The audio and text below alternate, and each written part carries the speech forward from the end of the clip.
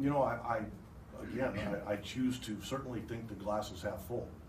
Um, you know, the one thing with young pitchers is they need to continue to, to develop and to, you know, to, but for where we sit, we're excited about it because I think we believe that they will.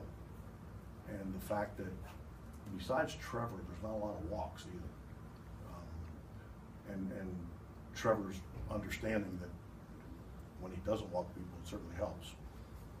So there seems to be high strikeouts, low walks, which again is another good stat, especially for young pitchers. A lot of times you'll see young guys come in the league and as the year starts going, you see, start seeing the walks pile up. As they, you know, good hitters start barreling them up a little bit and gets guys out of the zone. Our guys have been really good about attacking the zone. Again,